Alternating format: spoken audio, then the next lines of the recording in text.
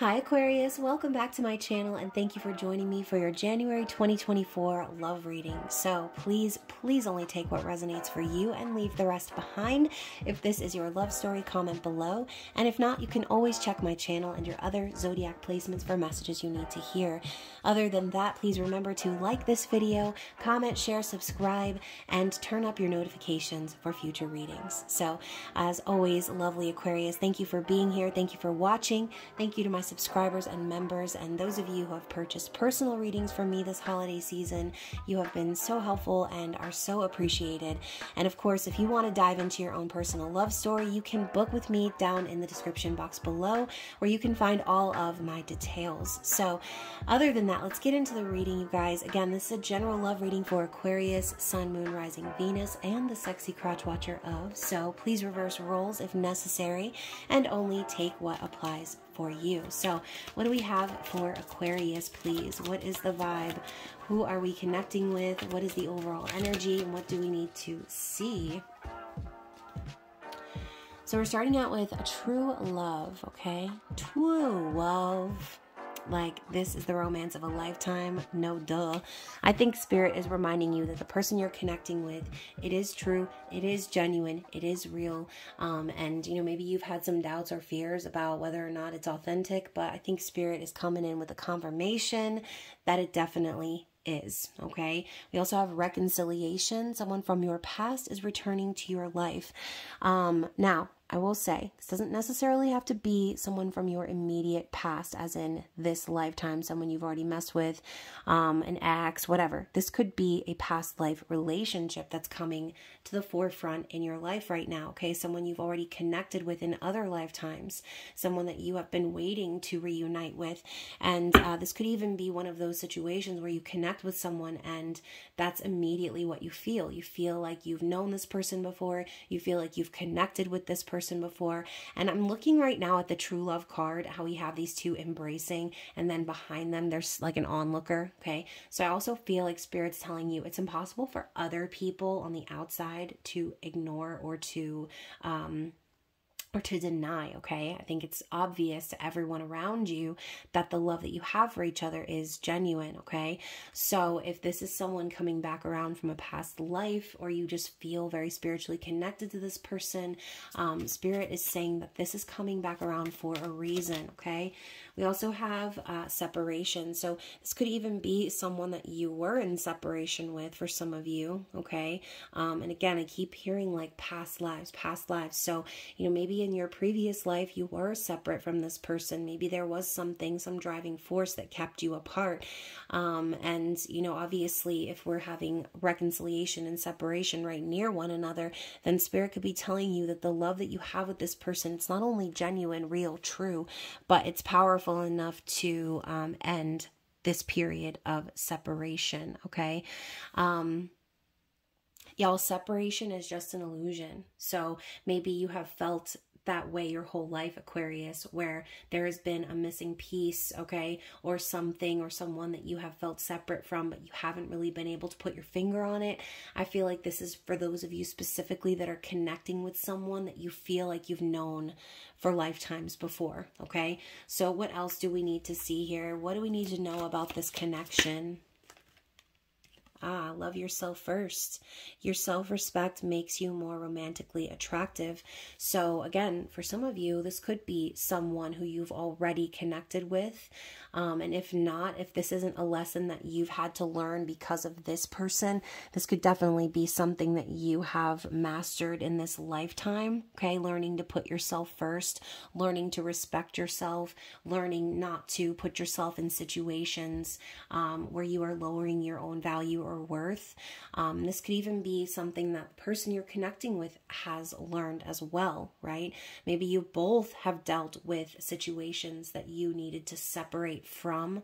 Um, and so now there's a period of time coming around here in January where you and this person will reunite and recognize that the love that you share um, is more powerful than anything you've ever experienced before. Okay. I just saw 444 as I was talking about that. Yeah. And you know, as I say, anything you've ever experienced before, I have unrequited love at the bottom of the deck saying there's not enough attraction or chemistry to keep this relationship going. So I feel more so that we are connecting now with two people who have already seen the ugly side of love, who have already dealt with situations and scenarios and situationships where they have given or been the giver and not received received in return, or again, the love was one sided. Um, and that is why we came to this lesson of loving ourselves first, right? So we had to learn how to separate ourselves from people who didn't see our worth, from people where we were pouring in our love and we were pouring in our energy and attention and weren't getting back what we deserved. So, you know, I do feel that Spirit is telling you because of all that you've learned in this lifetime and previous lifetimes in the past, that now you are being presented with this true, authentic romantic love of a lifetime, okay? So, and look at that, y'all. Worth waiting for. Are you kidding? Divine timing is at work in your love life. So, obviously, everything that you've been through, it's for a reason. And this love is definitely worth waiting for. Okay, you've experienced enough of these unrequited situations. You've experienced enough of the lessons of the heartache of of feeling like you're um again like needing to separate from certain people places and things that phase is over okay? And it's in with the the true love the the new love the new experiences ones that you have been manifesting ones that you've so that is what i see here for the overall energy of the connection. Let's move into the tarot okay? Let's find out more about this person. What do we need to know about them? What are they currently thinking about? Aquarius please what is in their mind? What is in their heart for Aquarius, please? So, you guys, we're starting out with the, the Hierophant in the reverse. So, Aquarius, maybe you recently, or maybe not even recently, but in your lifetime, you have removed yourself from institutions or traditional um, constructs where you have felt very restricted. Um, this could have been a marriage that you were in, um, and again, this this could be something your person is going through. Right? Um, they've probably dealt with situations that felt very unbalanced or again did not make them feel very connected to their spirit to their soul. Um, the hierophant in reverse for me is like a, a marriage of obligation or like a situation of obligation. So seeing as it's I feel coming to an end, right? Where this isn't someone who is actively uh, participating in a situation where they feel spiritually connected and committed and all those things. I feel like this is someone who has actively broken away from those constructs, who has awakened and realized what it is that they really believe in, connecting to their soul and, and to their desire and their path forward in life. Okay. So this could be going along with what I said, right? Experiencing those unrequited situations, experiencing um, dynamics where the love wasn't true, where the love wasn't real. Let's elaborate on that. Yeah, so we have the Six of Cups. So again, I, I feel like Aquarius, you've connected with someone that you um, that you are very much so tied to via the soul. I think this person is also aware of that, that they have this feeling that's pulling them, this nostalgia when they connect with you, that um, helps them to see why this construct failed in the first place, okay? Why this situation was something they needed to remove themselves from because it didn't give them that feeling, okay? It didn't make them feel very connected to their soul. This to me is like a soulmate card, okay? This person is fully that they have this deep connection with you, and even more so, not just a soulmate, but we're talking about past life connection again. So I do think this person has been waiting for someone like you, Aquarius, where they feel spiritually connected. Um, maybe they've been just kind of going along with life or going along with those social constructs, but never really feeling like they belong, um, never feeling like they resonate with certain things, okay, traditions, values, and things like that. So I do feel either they ended a commitment or um, or once again they just never resonated with a certain aspect of their life now that they've met you now that they've connected with you they can't help but but acknowledge that deep soul tie okay um this is also a card of reconciliation. So for those of you who have already dealt with this person in your life, if this person was married or in another situation, um, this person is very much so focused on on getting that loving feeling back with you, okay? In their heart, we have the Four of Cups and the Four of Pentacles, two fours. So I do also feel that this person desires to um, they desire to be happy, but the problem is is that they're very much so focused on the past. There's a certain thing that they're not able to let go of, and, and maybe that thing is you, Aquarius. I feel this person really desires to connect back with you because that is when they felt the happiest. And obviously, the Four of Cups is a card of being bored, being dissatisfied, feeling unfulfilled, or feeling like they missed out on an opportunity. So I think whatever this person was involved in before, they're aware that that was the thing that was causing a blockage between them and their happiness. Okay. So, you know, obviously the Four of of cups for me too is like that coulda shoulda woulda vibe this person i think also feels like there's nothing they can do about uh, their situation in a sense or like there's nothing they can do to change the past um, but they're still holding on to some aspect of the past as well they don't want to let go um, the Four of Pentacles can be like a miserly card, right? Clinging to the physical. But we know that that sort of sets us up for failure, right? So I think that this person, um, even though they want to break very badly away from whatever this Hierophant in reverse represents, um, they still are tied to that that concept or that um, that ideology of like needing to hold on to things lest they be lost.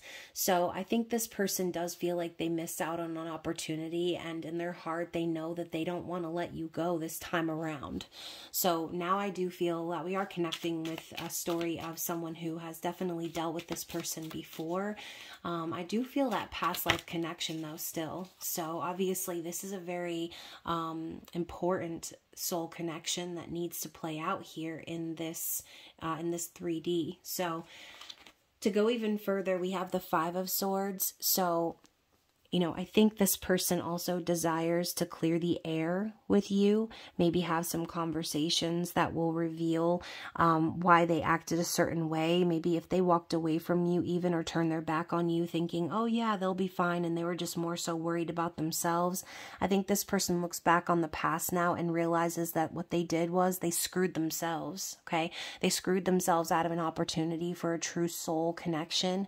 Um, and now all they can do is like reminisce on that that coulda, shoulda, woulda. They should have stepped up. They should have said something. They could have done this. They would have done that if this didn't happen or that wasn't playing out. So there's so many um there's so many like possibilities of what could have happened and how things could have played out between the two of you. And i think this person is sort of living in regret for how they acted. And that is why their heart refuses to let go because they know that they could have done better. They should have done better. They should have showed up better for you. So aquarius let's find out uh, a little bit more of the blockage here. What's blocking them? What is their challenge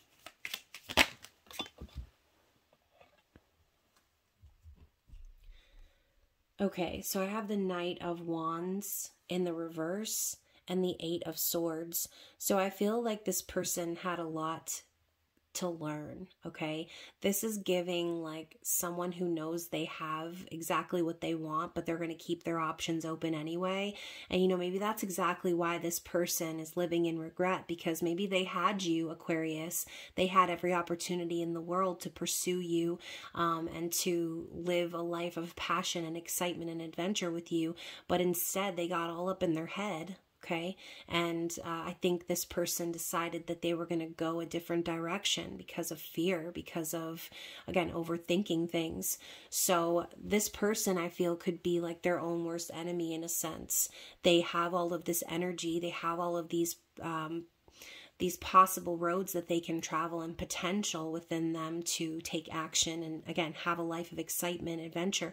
But instead of taking action they end up screwing themselves okay? And so i think you know, obviously, this person, again, the Knight of Wands in reverse could be someone who is a cheater, someone who is afraid of commitment, someone who, you know, sows their oats, doesn't stick around in one place for a long time. So I think that this person had some growing up to do, some maturing to do.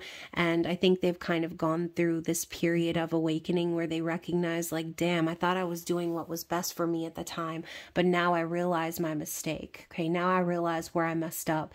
And, um, they're sort of in a mental prison about it. Okay, they they don't know how to move forward right now uh, with you because they realize they're the ones that put themselves in this situation. It was self inflicted. So anything else in regards to that challenge? Yeah the four of wands. So now they have to face the fact that they could have had it all right? They could have had this union this stability um, you know possibly marriage even uh, happiness and celebration of life. And that is what they wanted to do here. That is the feeling that you give them. That is what they're aware of when they think of you aquarius is is being in union is having that happy life okay? But um, again they're standing in their own way of that. So that's the challenge. That's what they want. But they stop themselves from having that with you. And so now they're sort of kicking themselves because um, they know they need to make things right. They need to clear the air the Three of Wands. Yeah, so they have been steady manifesting this behind the scenes. Okay, they've been really waiting for things to align um, so that they can move forward into this next phase. But I think part of them is starting to understand like, okay, it's not just about what I plan for the future, it's not just about, you know, my ideas or thoughts about how I want things to go, because there's always going to be things out of my control, right? So I think maybe they thought they were in complete control before, but now they recognize recognize okay there's things that that they have no control over that are you know things that are like you what you do and and how you act and how you respond. So now this person maybe they made you wait in the past or um, you know they didn't seize the opportunity or seize the day. And now they're the ones that have to wait around um, for you, right? Maybe they think to themselves, well, hey, I should have taken action before, but instead of doing that, I, I was caring about my own self-interest, and now I need to wait for Aquarius to be ready to make the move, or for Aquarius to be ready to move into that place of stability with me, okay? They don't really have a choice. So the Six of Pentacles is their likely actions moving forward. Um, y'all i feel like this person wants to bring balance into the situation okay? I, I, feel that in the past you know again they recognize the mistakes that they made they recognize the opportunity that they lost and their goal now is to is to come in with that reciprocity. This is a card of equal give and take. So I think they know like this is what needs to happen if I'm even going to have a chance with Aquarius. I need to come in and show that I'm stable and that I'm balanced and that I have a plan, okay, moving forward. So what is that plan? Why the 6 of pentacles? The 2 of pentacles. Um, so the 6 plus the 2 to me is like that 8 I think what they really need to do is show effort and put in the work. Um, but it's going to require them first to make some changes in, in their behavior, okay, in their environment. And it's going to pull them right up out of their comfort zone. This person is. Um, they're planning on making those changes. Okay, that is the plan. Um, they want to show up as someone who is going to not just be showing up, but someone who's going to show up to give back. Um, now, the question is, will it be too late, Aquarius? Because, again, we obviously see that this person is wanting to come back in and reconcile with you, but that's going to be entirely up to you. So, what is the likely outcome here? Oh, loud. All right, so we've got the Justice card and we've got the Emperor So, Aquarius, like I said, I do feel that it is entirely up to you. I feel that you are currently in control of your your life and the way things are going to play out for you. And I feel like this person, they recognize that, you know, maybe you have had to be that emperor for yourself and provide yourself justice and fairness um, as this person dealt with, you know, again, growing up, maturing, learning their lessons. But I see justice as, again, a universal energy of that things are going to balance out the way they need to be balanced out. And so maybe the fact is, is you've been waiting on this person to come in and, and be fair to you. You've been waiting on this person to remove themselves from, you know, a marriage or a certain dynamic that we saw before with the Hierophant in the reverse. Justice could very well mean divorce, okay, and uh, balancing out of legal matters or legal affairs. So that could definitely be the outcome here. If you've been waiting on this person to remove themselves from that dynamic, um, that could definitely be what happens. This person could be stepping up in their emperor energy, right? Getting ready to come in and reconcile with you um, and share their thoughts about how things played out in the past. Um, but yeah, you know, everything requires balance. We saw that with the Six of Pentacles, now with the Justice card. So I see this as a universal energy and a free will energy. This person is going to come in and create balance where it needs to be created. And they're going to show up in their highest vibration to do so because they recognize what they lost in the past. They see what they missed out on. This Four of Wands, this this possibility of being happy and stable and you know in union. So i i do feel this person's goal is to do that and that they're they're going to be showing up at your door with that proud and um in control energy of the emperor to balance the scales of justice here okay? I do feel that there was an injustice done to you in the past aquarius by this person um, and they know that they need to come in and make it right okay? So bottom of the deck in the processed energy we have the two of swords. So i do think that it's been a long time coming for this person to come to this realization and that they were kind of standing in their own way.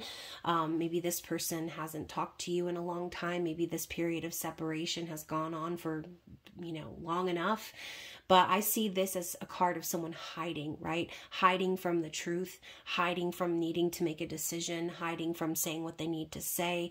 Um, but in general, I think this person has failed to realize, like I said before, okay, with this card right here with the onlooker in the background, the onlooking angel.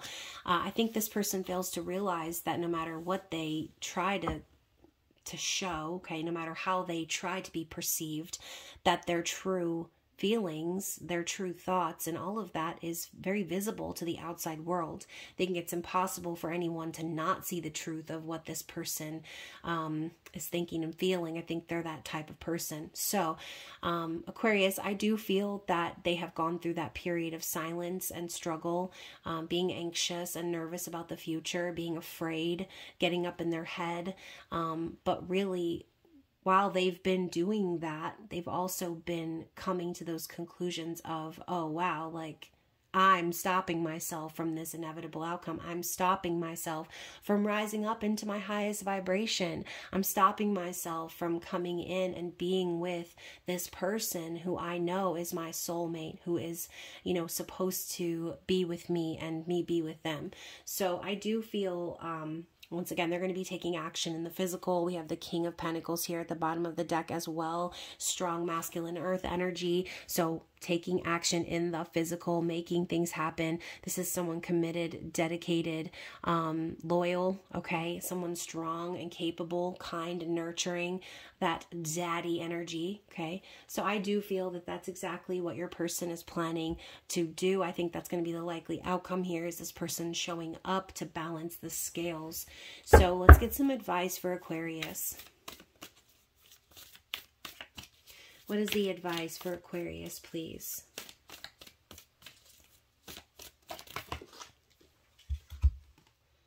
Hmm. So we have romance.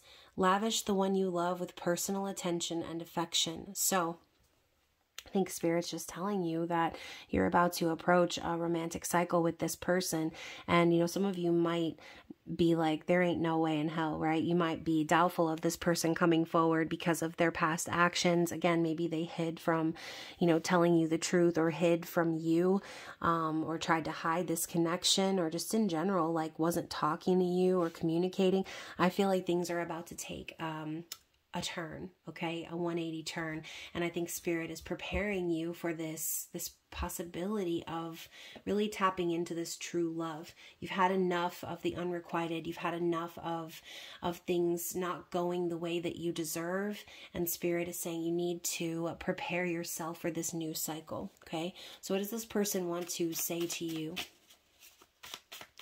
What is this person's message to you aquarius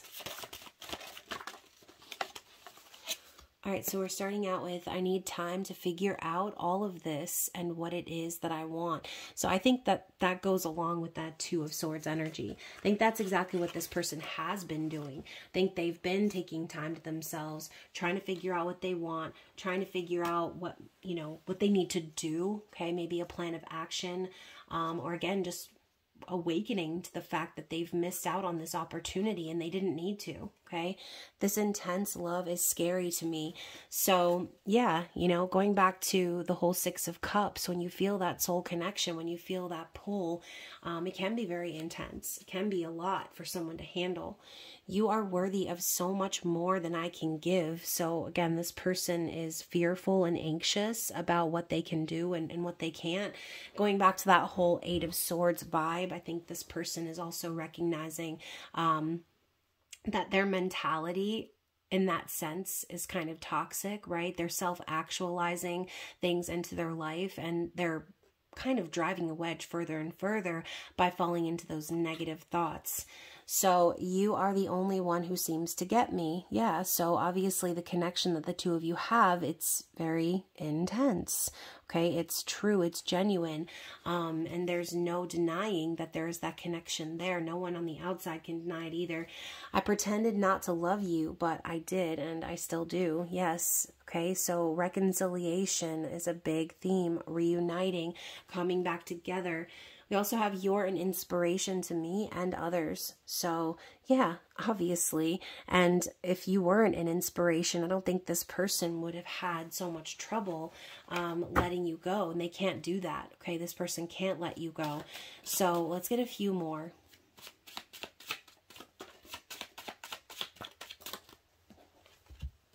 Yeah, again, I still love you. Okay, so the, the concept of true love, true genuine love. Um, there are no circumstances that could stop this person from loving you, from caring. I'm sorry I lied to you. I don't know, excuse me, I know you don't trust me. So, yeah, again, going back to the before with the Five of Swords, you know, maybe this person lied about how they felt. Maybe they walked away from you thinking that they could you know, just move on, worrying about themselves and not really caring about the outcome. But as time went on, um, I think this person started to feel very guilty, knowing that they left you behind when the love that you share is so real. Um, they're not going to find that anywhere else. And then also, I want to become the person you deserve. So, going back to the Justice card and the Emperor card, that is exactly why this is the likely outcome because this person recognizes their mistake. Okay. They recognize all the time that they've wasted um, doing whatever they were doing when they could have been building with you. Okay. Um, with with the person who inspires them, with the person that they love. Um, so this person has been doing the work, I feel, to to prove to you to balance those scales, to make the changes and show up in their highest vibration. Okay.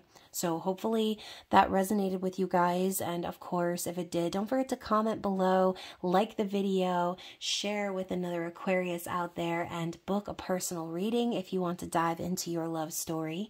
Um, but other than that, Aquarius, I hope that you enjoy the month of January, and I will see you again very soon. Bye.